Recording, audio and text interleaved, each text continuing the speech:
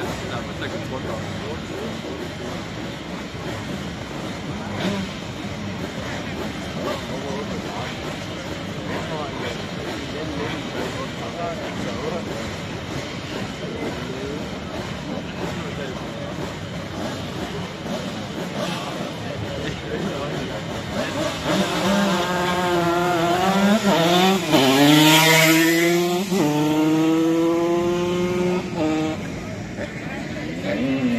Thank you.